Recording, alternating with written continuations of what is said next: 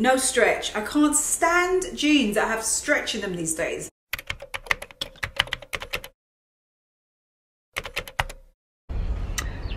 Hello. So, denim. Challenge today is to find some updates to my jeans. I've been wearing the same Levi's. I like them, but I just need an update. So I'm going to go into the city and see what's out there.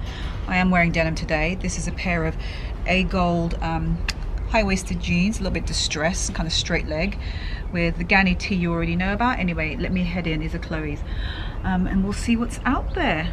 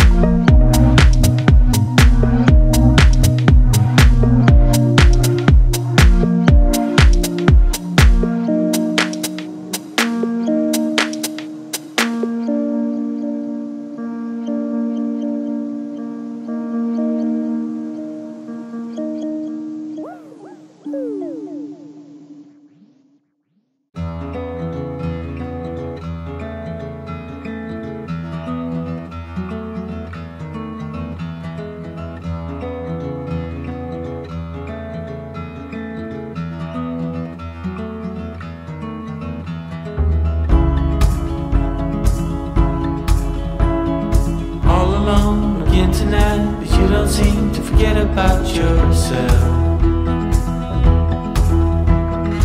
Wondering how it could go so wrong, but you didn't call for help. But let me tell you about the trees and the seas, how it's all connected.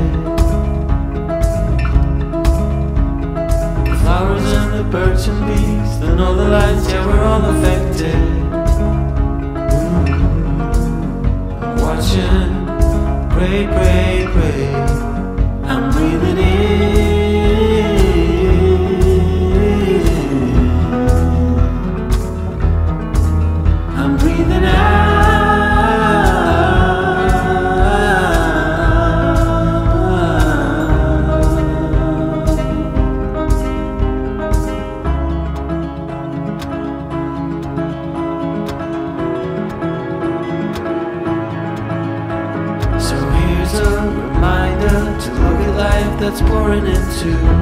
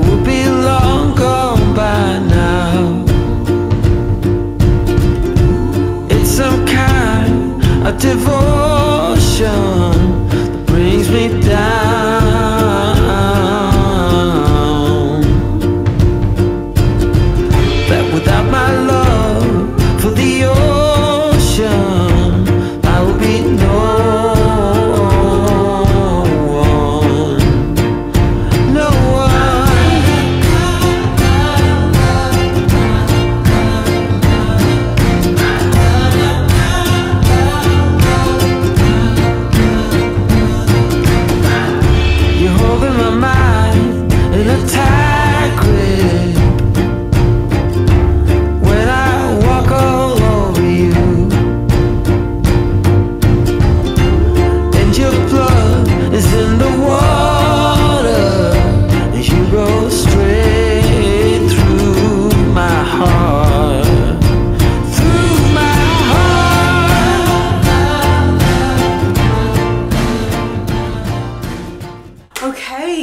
You lot saw me going into the city.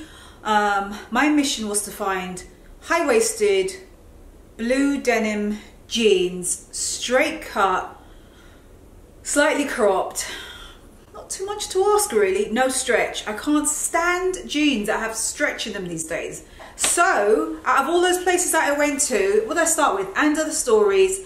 Um, I went to H&M, I went into Topshop and I went into Madewell. You saw how, based on that criteria of what I'm looking for, straight leg, high waist, rigid, you saw what happened. And um, hopefully that will help you because if you're looking for a particular type of jean like that and you have a similar shape to mine, my shape is, oh God, I don't know, look at me, you tell me what my shape is. I do have an ass, there you go. Not one of those girls that's like completely flat.